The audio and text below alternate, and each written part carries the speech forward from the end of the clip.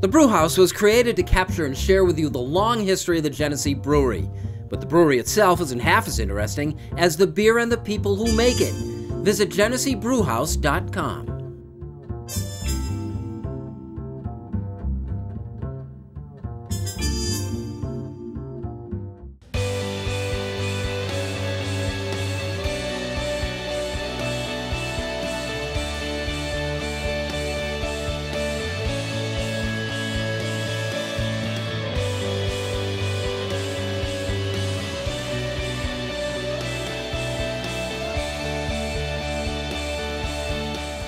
Hello, everyone. Thanks for joining us. This is the Rochester Press Box, presented by the Genesee Brewhouse, and happy Thanksgiving weekend.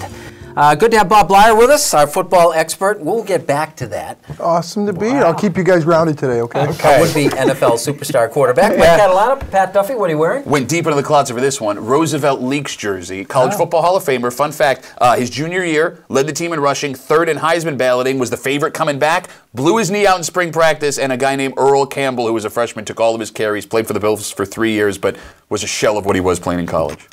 We're going to play as a, as, a, as a holiday, as doing something a little bit special, and kind of get into maybe some of the things in sports that we changed. And let's just start with the predictions you made last time you were here. Yeah, I've been hearing that for a few weeks now. Yeah. Uh, the Bills, the Bills Ugh. finished ten and six. Yeah? Oh, you remember that, the huh, Bill? championship Yeah. game, and you said something. Yeah, you must. One, they can't go 10 and 6. They still could go 9 and 7. Two, the Bengals are not eliminated from the playoffs yet. So those You two are remember still that as well? Oh, boy. Nathan Peter. Okay. Yeah. what Um, in sports bothers you? um, I, I would have to say uh, finger pointing. Um, you're, I'm seeing that so much now in basketball and football.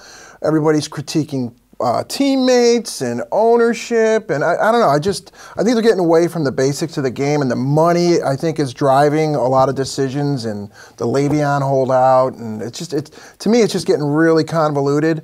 Um, the sport is so grand on its own. It's so there's such a huge following. Look at Duffy with the Bills. I mean, they could go over and he'd still be at every freaking tailgate. So Season tickets. True. yeah, right. So I, I just think it's it's getting a little diluted. Uh, I don't know if it's the money. I don't know if it's the egos. I'm not sure what it is, but I, I would change, try and change some of that, but probably impossible. I think a lot of this comes back to social media. People approach the way that they conduct themselves and relate to each other differently than they did 20 years ago. Yeah, well, that applies to way more than sports, though, right? And it's Yeah. just we see it, a lot of us see it play out that much more in sports. I don't think that genie's going back in the bottle anytime soon. I think if anything else, it's going to get worse. How about? You got something that Well, it's coming, and I, I think it's long overdue in, in sports and college basketball. I think there's a lot of things that need to change in college basketball. I think that game needs to evolve a little bit to get a little more interest maybe in the regular season. It is coming, it's going to be with the league, but that whole one and done rule, I think it'll help the NBA, and I think it'll help college basketball. There are multi talented players who can come right out and go to the NBA. They should be allowed to. And I think the college basketball game needs to change a little bit.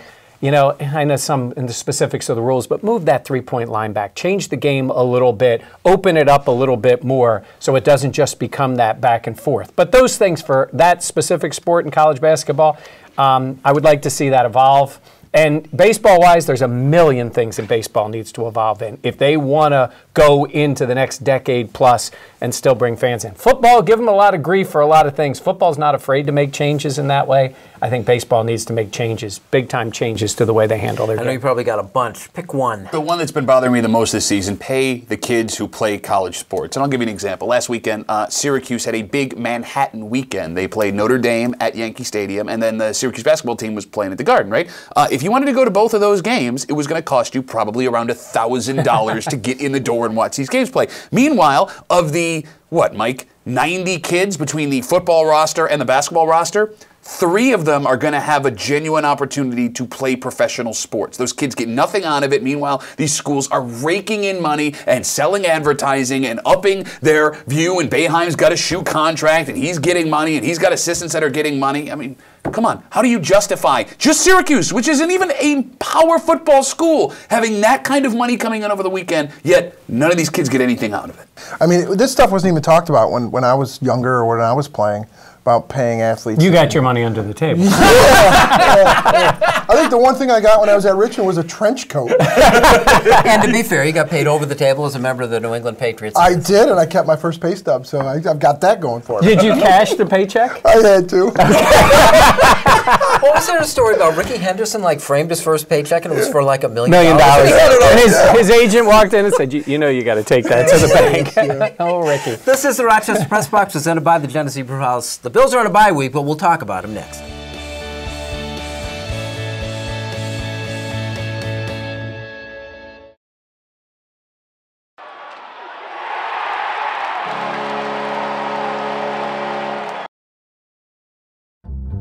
The Press Box is brought to you in part by Bay and Goodman Pizza, a local Rochester favorite, corner of North Winton and Browncroft. Bay and Goodman Pizza.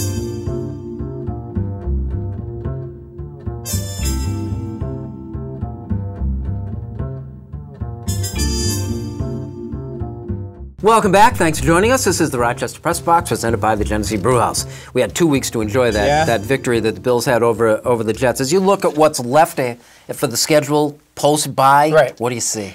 Well, I know Pat's head exploded when Sean McDermott came out right after the week of the game, and the first thing he said was, "The process continues."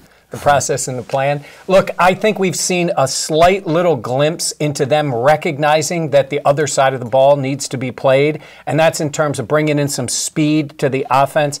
The Bills' offense was so slow and so predictable, especially at the wide receiver position, that whether you're picking guys off other rosters or playing guys off the practice squad, speed is the NFL in 2018 and gone beyond that. So I want to see them recognize that a little bit more. That's what I'm looking for in the second half. And obviously, this last part of the year, we want to see how Josh Allen does. We want to see if he can progress. But the fact that the team is finally recognizing that they need to score points, whether they can or they can't, I think is a sign that hopefully that is the big part of the offseason. Schedule works in their favor a little bit. I mean, yeah, it's statistically the easiest schedule left in the NFL, and I'm telling you, man, I am all in on Sunday. I can't wait for this. Doug Marrone coming back with Jacksonville to Buffalo, right? Because you know this, Mike, being around that team when Marrone was there, you know, like we were at training camp. When Marrone left, nobody in Western New York thought this was going to be a big deal, right? And you had national media members, oh, Doug Marrone and success, and then he shows up in Jacksonville and has that great year last season.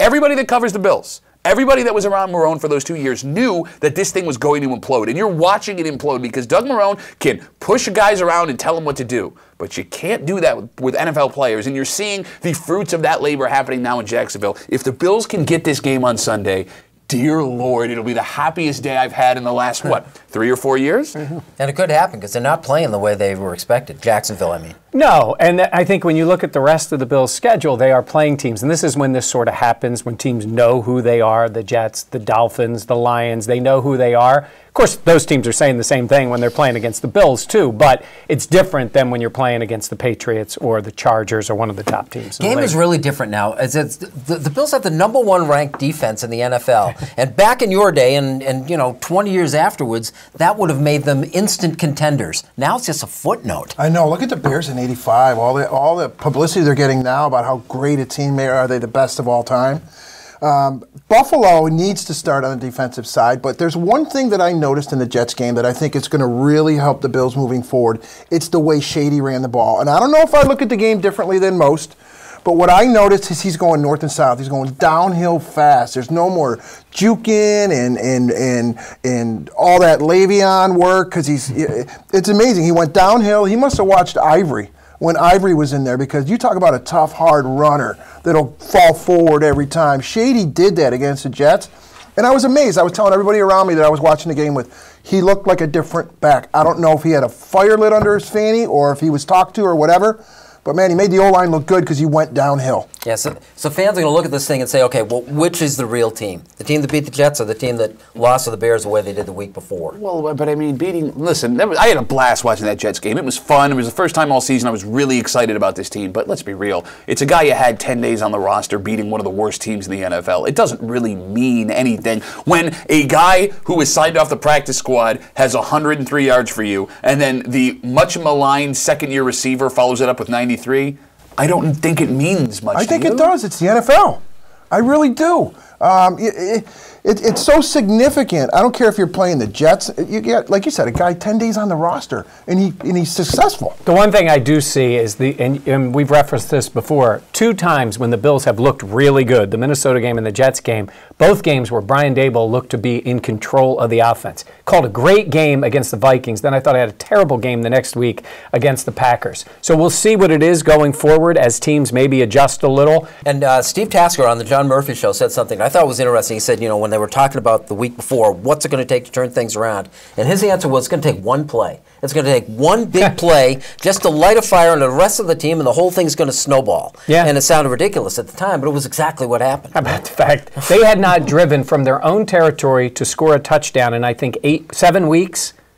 That's incredible, right? Yeah. And they did it in two plays against the Jets. So we'll see how they do now back home against the Jags. This is the Rochester Press Box presented by the Genesee Brew House. Like it or not, is next.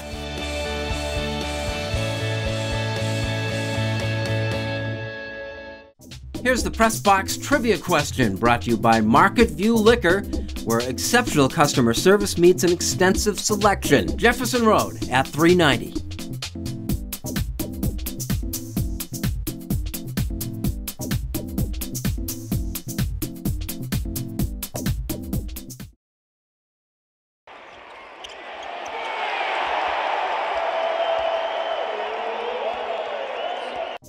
Here's the Press Box Trivia answer brought to you by Market View Liquor, where exceptional customer service meets an extensive selection. Jefferson Road at 390.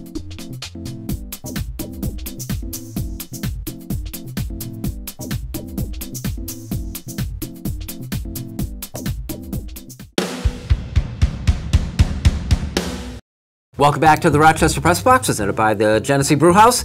As a uniform and jersey collector, like it or not, the idea that Pittsburgh Steeler fans were burning Le'Veon Bell jersey. I mean, listen, you paid a hundred bucks for it. Do whatever you want with it, right? But I do find it funny, right? Like, what are you trying to prove?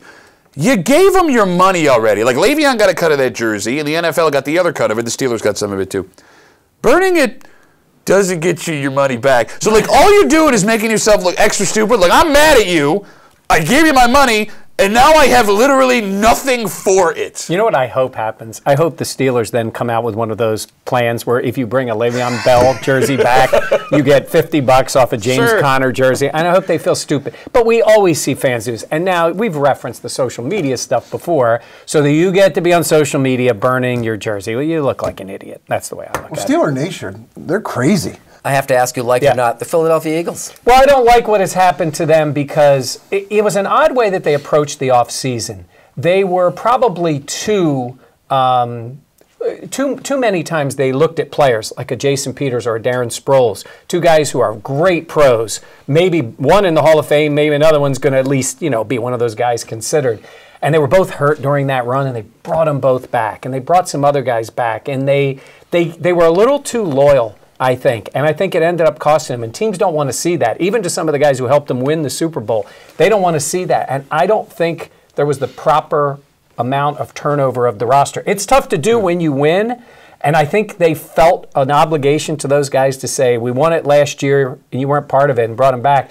And they've sort of gotten let down by them. There's a lot of reasons why they've been down that way. Um, and I, but I think their roster needs a, a, a shot, and I think it'll have to come next offseason. I'm sorry, I think something's wrong with your mic because you said something. I was you said. Did you just say Darren Sproles is a potential Pro Football No, no, no. I think Darren Sproles would be one of those guys that when you look at his total numbers are spectacular. Mm-hmm. When I say he's had a great NFL career, he's not going to be in the Hall of Fame, but he's been a great player. Okay, but like the fact that you used Hall of Fame. Okay, you can never call me a fanboy ever again. Hey, Darren, Darren Sproles made most of his time in the Chargers and the Saints, and he's been good with the Eagles. now he's Relax. okay. Darren Sproles, one of the all-time great returners, special teams guy, great guy coming out of the backfield.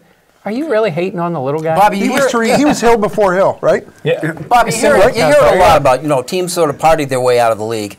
Not out of the league so much, but you know championship teams that celebrate maybe a little bit too hard. Does that happen? It has to because you know, but but then again, you look at you look at those those franchises like like New England, and it's just time and time again. And I think it it starts not only maybe in the front office, but the leadership with with veteran players. And I think if you get caught up in, in success and, and, and glory, if you don't have great leadership on your team, teammates, it's tough to stay grounded. It Is really that is. why? Is that why you talk No, I about don't- needing roster turnover? Yeah, but I don't think it was about the partying and all that kind of stuff. I, I think it's it was actual football reasons. The Eagles still have a young quarterback in Wentz, so the idea of still building around him going forward, and they uh, technically they could still make a run this year. I just Do don't they make it. the playoffs? Well, they've got to, you know, they've got to, you know, at the time we're taping this, I don't know what happened at Saints game. That would have been a big upset, but they could make a run. They still have four games in the division, twice with the Redskins, so all that is still on the table. But in the NFC, they don't look like a contender. This is the Rochester Press Box presented by the Genesee Brewhouse. Unfinished Business is next.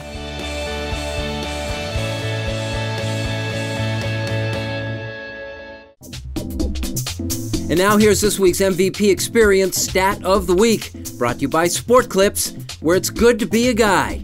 No appointment ever needed.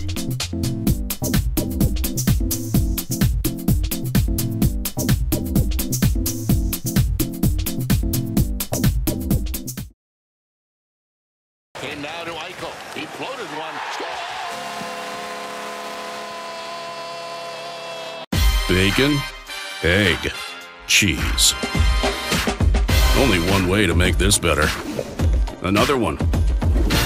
Dunkin' Go Tos. Get two bacon, egg, and cheese sandwiches for $5. America runs on Dunkin'. Welcome back. Thanks for joining us. This is the Rochester Press Box, presented by the Genesee Brewhouse. Unfinished Business brought to you by Dunkin' Donuts. America runs on Dunkin'. You need to broaden your sports horizons to appreciate what you have. You know, Thanksgiving was this past Thursday, and it reminded me of a Thanksgiving tradition my family had. And that tradition was my father finding a way to get out of hanging with his in laws. And he came up with this brilliant trick, and I suggest if you're a father, you try this too. He would take myself and then myself and my brother from Rochester to Detroit for the Thanksgiving Day Lions football game every year. We went for like eight years, and it was the guise of I'm spending time with my sons, but really, he didn't want to be with the in laws. So, we would go every year to this game, and it was such an experience. One, I mean, the Lions weren't that good, but you had some of the best teams in the NFL coming, and it's Thanksgiving in the middle of the day, and I'm eating a giant turkey leg, watching live football in a stadium that I had never been to before. And it was in those trips that I started to realize what we have in Western New York is very, very special because Detroit's a blue collar town and they got fans that care, but it was nothing like a Sabres game or a Bills game. In fact, watching it inside Ford Field there, it's like watching football inside a mall. You've been there, you know what I'm talking about. What I'm getting at is, right? The tailgate scene in Buffalo, the experience of going to a game in Buffalo is like none other. And you read about that online, but you don't fully appreciate what you have until you try other stuff. I encourage you, go up to Toronto, watch a Raptors game, right? Head to Pittsburgh, catch a Steelers game, go to Cleveland, watch a Browns game. And when you get back, you realize what we have here is something special. And it's something that you can't wrap your head around until you go somewhere else. That's pretty cool. It was awesome. The thing that sticks out to me, though, is the turkey leg at the stadium. Oh, it was like huge, the size of your head. I'm getting hungry. Sorry. Bobby, what do you got? Yeah, it's uh, people are saying is the NBA in trouble, and and, and I, I I'd like to answer that by saying I think there's becoming a lot of parity in the NBA now with all the trades. LeBron going to LA, not being successful as a team. Uh, Jimmy Butler is now traded to the Sixers. I think that's going to be a big story as the as the season goes on. The Warriors are in a little bit of turmoil. Everybody's pointing their fingers, and and and Draymond's questioning whether KG's got, uh, or I'm sorry, KD's got a little bit of a, a selfishness to him. And and I say, you know, NBA fans are NBA fans. The cream is going to rise to the top. Uh, the, the, the, the competition's always going to be strong. The playoff runs are always enjoyable to watch. So just be patient during this regular season. Let all the free agency play out. Let the parity come into play. But, but I firmly believe that those teams who are the best teams and have been for history are going to be the ones that rise to the top. It's going to be a great NBA season. You mentioned Golden State. It's like a generational team. This might be the last year they can hold this together. Well, I, I think they need to keep Clay. I think they need to keep uh, obviously Curry, and if they leave, uh, uh, if they keep KD, I think that whoever they match around him is gonna they're gonna still be strong for a long time. Fun to watch. Yeah. Uh, reports of the demise of the NFL are greatly exaggerated. I don't know if you've seen the ratings recently, but the ratings are back up. The ratings are close to what they were a couple of years ago when it started to dip. Do I think the kneeling down, the national anthem thing, yeah, it probably impacted the league for a while. I think most of that has gone by. I know there are certain people who aren't back in, and that's fine. But look what the NFL has done. The rule changes everybody complains about. Scoring is up. The games are exciting. maybe outside of the games we see sometimes in Western New York. And now the NFL is getting ready, just perfect timing. No matter how many dumb things Roger Goodell has done through the years, he knows how to make money. The TV deals are up. And the big thing for the NFL is not only are they going with CBS and Fox and NBC and everybody, the regular networks, but they've got everybody else bidding too, whether it's Yahoo or Facebook or Twitter, talking about broadcasting games in one form or another. The NFL is long from dead. We just talked about the NBA. The NBA is big. The NBA is doing really well. But the NFL is still king, and it shows no sign of losing its crown. It's such a part of our holiday weekend too. I mean, it's a, it's a cornerstone, really. It always NFL's is. And the biggest part of the NFL season is just starting. This is the Rochester Press Box, presented by the Genesee Brewhouse. Unfinished Business is brought to you by Dunkin' Donuts. America runs on Dunkin'. Bobby, good to have you back. Thanks for owning up to those predictions. yeah, that'll be the last time I do that. By the way. Mike. All right, Pat, thanks. Happy holidays, everyone, and thanks for joining us. We'll see you next week with the Rochester Press Box. Cheers.